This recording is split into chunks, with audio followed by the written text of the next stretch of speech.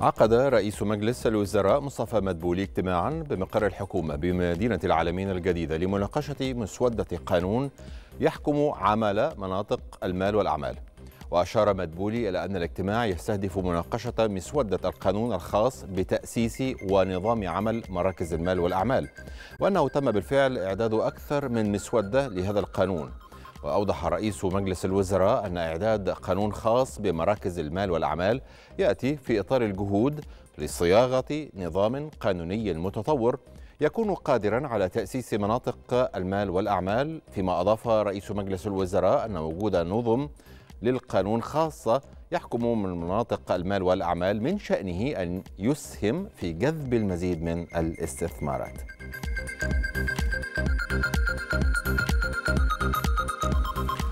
أعلنت شركة خلدة للبترول القائم بالأعمال نيابة عن شركة أباتشي الأمريكية والهيئة المصرية العامة للبترول عن تحقيق كشف بترولي جديد في منطقة غرب فيوبس بمنطقة تنمية كلبشة بالصحراء الغربية.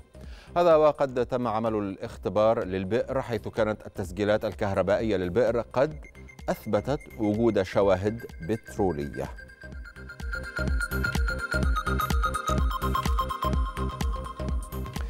التقى وزير الكهرباء والطاقة المتجددة محمود عصمت بسفير مصر لدى ناميبيا وائل لطفي وذلك لبحث تعظيم الاستفادة من قمة الهيدروجين الإفريقية العالمية المزمع عقدها خلال الفترة من الثالث وحتى الخامس من سبتمبر 2024 في ناميبيا. وخلال اللقاء تم استعراض المشاريع المرتبطة بالهيدروجين الأخضر في الاستراتيجيات الخاصة ببعض الدول الإفريقية بالإضافة إلى فرص دعم القطاع الخاص للمشاركة في المشروعات في إطار القمة ومشاركة وزير الكهرباء فيها نيابة عن رئيس مجلس الوزراء مصطفى مدبولي.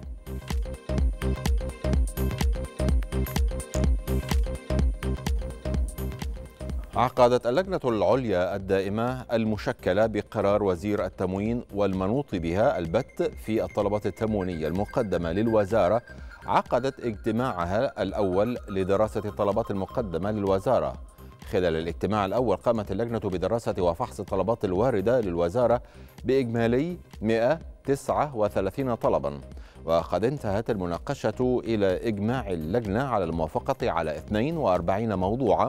ورفض اللجنة ل 44 موضوعا إضافة إلى تأييد حفظ 53 موضوعا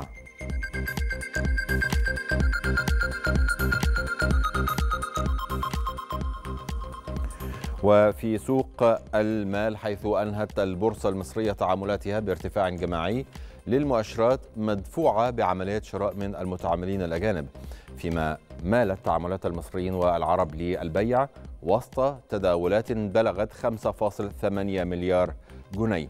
ربح رأس المال السوقي 13 مليار جنيه عند مستوى تقريبا 2 تريليون جنيه. على صعيد المؤشرات المؤشرات ارتفع مؤشر EGX 30 بنسبة بلغت فاصل 76 في المئة مغلقا عند مستوى 30363 نقطة. فيما ارتفع مؤشر الشركات الصغيرة والمتوسطة EGX 70 متساوي الأوزان. بنسبة بلغت 1.4% في المئة مغلقا عند مستوى 7015 نقطة. فيما صعد أيضا مؤشر EGX 100 متساوي الأوزان بنسبة بلغت 1 في المئة مغلقا عند مستوى 10042 نقطة. وأكدت الوكالة الوطنية للأحصاء في زيمبابوي أن معدل التضخم سجل في أغسطس الجاري أكبر ارتفاع منذ إصدار البلاد لعملتها الجديدة والمرتبطة باحتياطية ذهب وسلة عملات أجنبية. وأشارت الوكالة إلى أن معدل أسعار المستهلكين ارتفع بنسبة بلغت 1.4 في المئة خلال شهر أغسطس الجاري بعد تراجعه بنسبة فاصل واحد في المئة وذلك في يوليو الماضي.